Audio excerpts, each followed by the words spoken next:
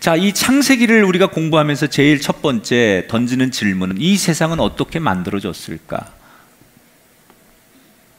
우리가 그동안 배워오고 우리가 알고 있는 상식으로는 이 세상은 되게 많은 사람들이 우연히 만들어진 것이다. 아니면 어떤 작은 미생물들이 진화하고 진화해서 생명체가 만들어진 것이다. 또 과학에서는 어떤 사람들은 우연히 폭발로 인해서 지구도 만들어지고 우주의 별들이 만들어졌다. 이렇게 말합니다. 그럴싸하지만 정확한 팩트가 없어요. 그렇죠? 다 지금 과학에서 말하는 우리가 뭐 교과서로 책으로 배운 예, 내용들 그건 다 가상이에요, 가상. 정확하게 어떻게 누가 무엇을 했는지에 대해 정확하지 않아 육하 원칙에. 그런데 성경에 보면 성경은 세상이 우연히 만들어졌다고 말하지 않아요.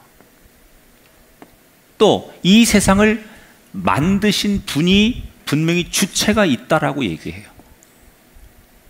자, 세상의 다른 책에서는 이 과학과 이론에서는 이런 이론을 펼치는데 성경은 이 세상을 어떻게 만들었다고 하느냐?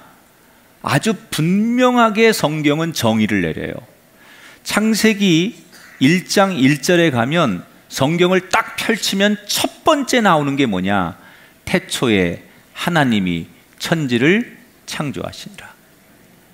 그리고 나서 3장까지 쭉 창조의 이야기, 하나님께서 세상을 어떻게 만드셨는지를 설명해 주고 있는데 생각나는 대로 하나님이 만드신 게 아니에요. 이 세상을 굉장히 디테일하게, 치밀하게 이 세상을 만드셨어요. 자, 우선 6일 동안 창조를 하시는데 첫날부터 셋째 날까지는 나누세요. 그리고 셋째 날 오후부터는 여섯째 날까지 그것을 나누어진 것을 채우십니다. 첫째 날 뭘 만드세요? 빛을 만드셔서 빛과 어둠을 나누세요. 둘째 날 하늘을 만드셔서 윗물과 아랫물로 나누세요. 그리고 셋째 날 아랫물을 한 곳에 모아서 땅과 바다로 나눠요. 3일 동안 아주 무질서했던 이 세상을 질서 정연하게 정리하시죠. 그리고 나서 말씀드린 대로 나누어진 그 공간을 채우기 시작해요. 셋째 날 오후에 식물로 땅을 채우고 넷째 날 해와 달과 별로 하늘을 채우고 다섯째 날 물고기로 바다를 채우고 새로 하늘을 채우고 여섯째 날 육상 동물로 이 땅을 채워요. 여러분 제가 지금 창세기를 구체적으로 여러분에게 설명할 수 없어서 이렇게 대략 스케치하고 넘어가지만 제가 다음에 한번 창세기만 가지고 강의를 할 건데 그때 얼마나 하나님께서 이 세상을 창조하시는 것이 치밀하고 주도 면밀하고 계획적이고 감히 과학에서 접근할 수 없는 놀라운 이야기인지를 설명해 드릴 거예요. 마치 하나님께서 그림을 그리듯이 이렇게 공간을 탁 나눠 놓고 그리고 그 질서를 세운 뒤에 공간을 알맞게 채우는 방식으로 세상을 만들고 계셨어요. 하나님이 계획적으로, 계획적으로 만든 거예요. 그리고는 더 이상 완벽할 수 없을 만큼 아름답게 이 세상을 만들고 계셨어요. 그런데 여기서 우리가 하나 기억할 게 있어요.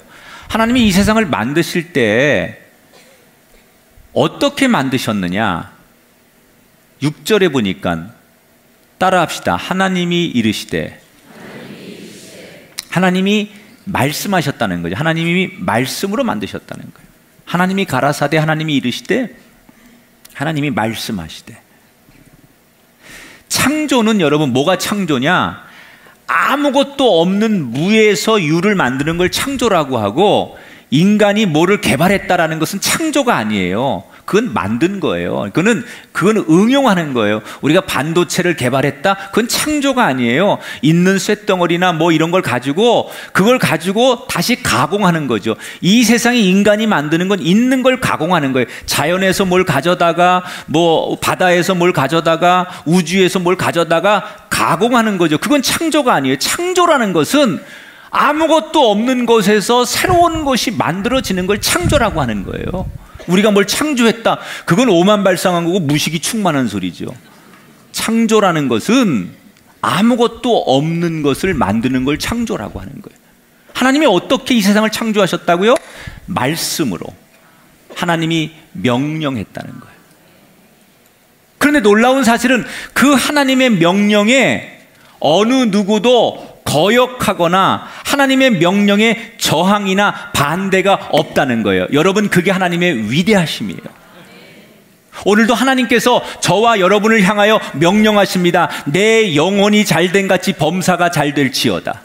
너의 자녀가 형통하고 너의 어두운 삶의 고난과 과거와 상처가 회복될지어다. 이 땅에 진정한 하나님의 나라가 평화가 임할지어다. 하나님이 우리를 향하여 명령하십니다. 그런데 하나님이 명령하시면 그 누구도 그것을 저항하거나 반대하거나 그것을 받아들이지 않을 사람이 없다는 거예요. 그러므로 오늘 우리는 하나님의 명령을 듣는 인생이 돼야 돼요. 여러분에게 하나님의 명령이 도달되게 되기를 주의 이름으로 축원합니다. 하나님이 우리를 용서하시면 용서받는 거고요. 하나님이 우리를 축복하시면 축복받는 거고요. 하나님께서 여러분 자녀를 일으키시면 일으켜지는 거예요. 직접 손을 댄 게 아니라 말씀으로 만드셨어요. 그리고는 얼마나 좋았는지 하나님이 만드신 그 세상을 보시면서 스스로 독백하시죠. 야, 참 좋다. 참 좋다. 감탄하세요. 그렇게 하늘과 땅과 바다가 만들어지고 그에 알맞게 모든 것이 채워진 다음에 더 이상 필요가 없을 것만큼 필요 없을 만큼 아름다운 세상을 하나님께서 만들어 놓으셨어요. 그런데 하나님께서 그렇게 아름답게 세상을 만들어 놓으시고 참 좋다까지 하셨는데 갑자기 뭔가가 떠올려졌는지 땅으로 가시더니 흙을 모으기 시작했어요. 그리고 물을 섞어서 어떤 찰흙상을 빚기 시작합니다. 그리고 얼굴과 몸통, 팔, 다리, 심지어 손톱과 발톱까지 정교하게 이렇게 저렇게 둘러보며 고심하고 흙을 아주 정교하게 빚습니다. 그리고는 다 되었다고 생각하자 찰흙상에게 가까이 가시더니 그 찰흙상의 코에다가 후 하고 숨을 불어 넣으셨어요. 그때 그 찰흙상이 붉은 혈색이 펴지더니 숨을 쉬고 말을 하고 걷기 시작합니다. 그동안 하나님이 만드신 그 어느 것과 전혀 다른 새로운 생명이 만들어졌어요. 너무나 흐뭇하셨던 하나님께서 그것을 바라보며 아담이라고 부르셨어요. 아담은 히브리어로 사람, 인간이라는 뜻이에요. 여기에서부터 이, 이 세상에 비로소 사람이 만들어져서 땅을 살게 되었다는 거예요.